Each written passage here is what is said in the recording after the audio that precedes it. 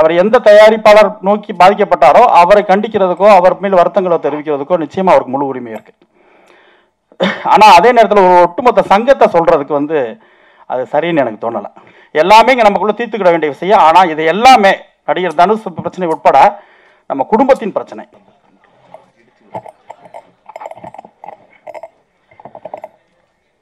அன்பிற்குரிய அனைவருக்கும் வணக்கம்.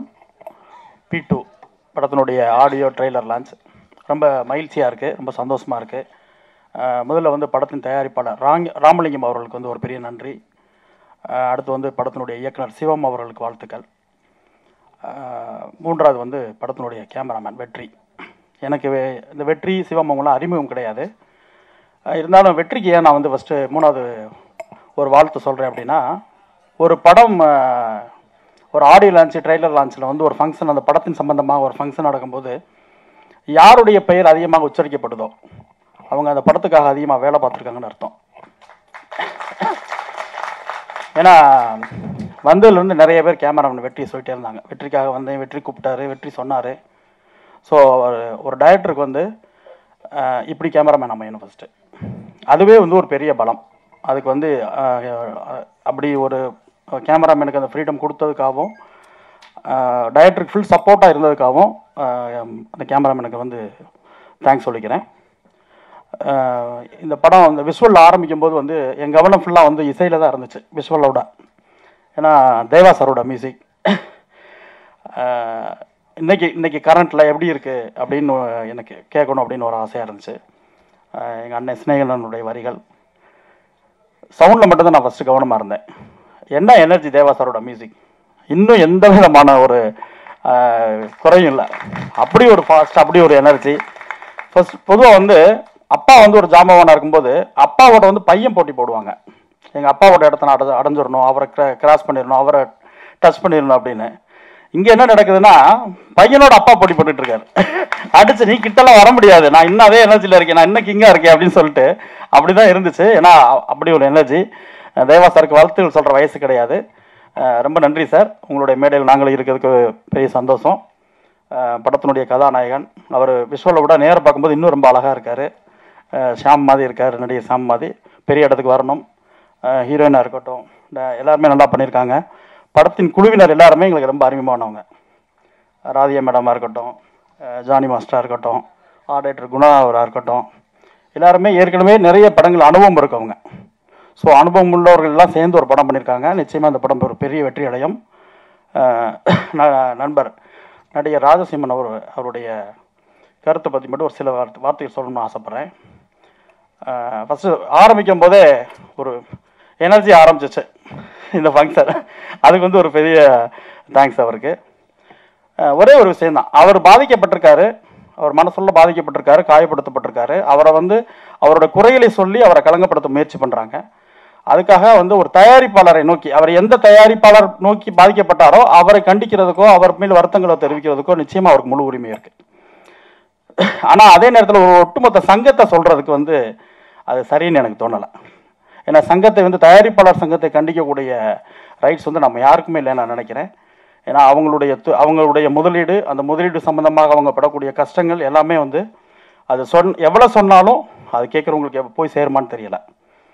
ஸோ அந்த தயாரிப்பாளர்ஸ் வந்து நம்மளுடைய முதலாளிகள் அந்த சங்கத்தை வந்து நம்ம கண்டிக்க வேணாம். அது மேடைகள் அப்படின்றது என்னுடைய கருத்து. சமீபத்தில் நிறைய டிஸ்கஷன் போய்கிட்டே இருக்குது. நடிகர் தனுஷ் நண்பர் தனுஷ் அவர்கள் மீதான நடவடிக்கையாக இருக்கட்டும் விசால் அவர் மீது நடவடிக்கையாக இருக்கட்டும் இப்படி எல்லாமே இன்னைக்கு இப்போ இப்போ நேற்று கூட ஒரு பிரச்சனை எங்கள் டைரக்டர் சார் சொல்லியிருக்கார் ஒருத்தர். என்னோடய என்னோட படத்தில் வந்து ஒரு என்னோடய காட்சி வந்து என் அனுமதி இல்லாமல் சேர்க்கப்பட்டிருக்கின்றார். அதெல்லாம் கண்டிக்கத்தக்க விஷயம். ஒரு ஒரு படைப்பாளி ஒரு எழுத்தாளர் அவர் கனவு கண்டு அவர் எழுதின கதை அவர் படைச்ச ஒரு படைப்பு அவர் அனுமதி இல்லாமல் சேர்ப்பது வந்து ஏற்றுக்கொள்ளவே முடியாது. அது சங்கம் பார்த்துக்கிறோம். இருந்தாலும் என்னோடய கருத்தை நான் பதிவு பண்ணுறேன் அந்த மாதிரி நிறைய பிரச்சனைகள் இருக்குது. அதெல்லாம் தாண்டி நம்ம ஒரு விஷயத்தை சமீபத்தில் மறந்துட்டோம் அப்படின்னு மட்டும் எனக்கு தோணுது. இது வந்து எங்கள் த தங்க சங்கத்தினுடைய திரை தமிழ்நாடு திரைப்பட இயக்குநர் சங்கத்தினுடைய செயலாளர் அண்ணன் அஹ், பேரரசு சார்கிட்ட வந்து நான் பேசணும்னு நினச்சிக்கிட்டு இருந்தேன். விழா ஆரம்பிக்கும் போது கரெக்டாக அவர் வரல. அதுக்கு முன்னாடி நான் சொல்லிடலாம்னு ஆசைப்பட்டேன். வராதனால இந்த மேடையில் வச்சு நான் சொல்கிறேன் எல்லாருமே சேர்ந்து நம்ம சினிமாவோடைய பிரச்சனை பேசிக்கிட்டே இருக்கோம். இது நிச்சயமாக பேச வேண்டிய பிரச்சனை. நடிகருடைய சம்பளம் உட்பட பட்ஜெட் உட்பட எல்லாமே இங்கே பேச வேண்டிய பிரச்சனை. எல்லாமே இங்கே நமக்குள்ளே தீர்த்துக்கிட வேண்டிய விஷயம். ஆனால் இது எல்லாமே நடிகர் தனுஷ் பிரச்சனை உட்பட நம்ம குடும்பத்தின் பிரச்சனை. இதை நம்ம தீர்த்துக்கலாம். ஆனால் இதை தாண்டி தமிழ் ராக்கர்ஸ் அப்படின்னு சொல்லி ஒருத்தர் ஸ்டீபன் அப்படின்னு சொல்லி கடந்த ஆறு ஒரு வாரத்துக்கு முன்பு கைது செய்யப்பட்டார் கேரளாவில் கொச்சின்ல. ரெண்டாயிரத்தி பதினொன்றில் ஆரம்பித்த அவங்களுடைய ஆதிக்கம் அவங்க பண்ண அட்டுழியம் ஒரு மாஃபியா மாதிரி ஒரு பத்து பன்னெண்டு பேர் இருந்துக்கிட்டு இந்த தமிழ் சினிமா ஒட்டு மொத்தமாக அழிச்சுக்கிட்டு இருந்தாங்க. பதினாலு பதினஞ்சு வருஷமா எத்தனை தர த- திரைப்பட தயாரிப்பாளர்கள் நாசமானாங்க. ஒண்ணுமில்லாம போனாங்க அவங்களுடைய அவங்க ஆதிக்கத்தினால் அவங்களோட அட்டுழியினால் அப்படின்னு. எத்தனை நடிகர்களுடைய வாழ்க்கை போச்சு எத்தனை இயக்குனருடைய வாழ்க்கை போச்சு. கத்துனோம் கதறணும். தமிழ் ராக்கர்ஸ் கண்டுபிடிக்கணும் அவங்கள பிடிக்கணும் அது பண்ணணும் அது பண்ணணும்னா எல்லாம் பரபரப்பாக இருந்துச்சு. செய்தியாக மட்டுமே இருந்துச்சு. ஆனால் அது ஒற்றை மனிதன் அதோட அட்மின் சொல்லி ஒருத்தனை அரெஸ்ட் பண்ணியிருக்காங்க. ஒரு குரல் தமிழ் சினிமாலேருந்து வரல. ஏன்னா இங்கே நம்ம பிரச்சனை பேசிக்கிட்டே இருக்கோம். நம்மளை அழைச்ச ஒருத்தனை வந்து க- இது பண்ணியிருக்காங்க. ஒரு கேரளா கவர்மெண்ட் போலீஸ் அரெஸ்ட் பண்ணியிருக்காங்க. நம்ம தமிழ்நாடு அரசுக்கு ஒரு கோரிக்கை வைக்கல ஒரு கண்டனம் தெரிவிக்கல ஒரு மாஃபியா. நம்ம வந்து அதை அதை பேசணும்னு நான் நினைக்கிறேன். ஒவ்வொரு சங்கமும் எங்கள் செயலாளர் அண்ணன் பேரரசு சாருக்கு வந்து நான் கோரிக்கை வைக்கிறேன். எங்கள் சங்கம் உட்பட ஒட்டுமொத்த இருபத்தி நாலு கிராஃப்ட்டும் எங்கள் எங்கள் சங்கத்தினுடைய கௌரவ தலைவர் செல்வமணி சார் இருக்காங்க. அவர் தலைமையில் இயங்கக்கூடிய தொழிலாளர் அமைப்பு இருக்குது எல்லாரும் சேர்ந்து தயாரிப்பாளர் சங்கம் சேர்ந்து ஒட்டுமொத்தமாக ஒவ்வொரு சங்கமும் தனி தீர்மானம் நிறைவேற்றி அவங்கள குண்டாஸில் போடணும். அவங்களுக்கு வந்து தமிழக அரசு தமிழக போலீஸ் அவங்கள வந்து கண்ட்ரோலில் எடுத்து வெளியே வர முடியாத தண்டனை கொடுக்கணும். அவருக்கு பின்னாடி யாரெல்லாம் இருக்காங்கன்னு சொல்லி நம்ம கண்டிக்கணும்.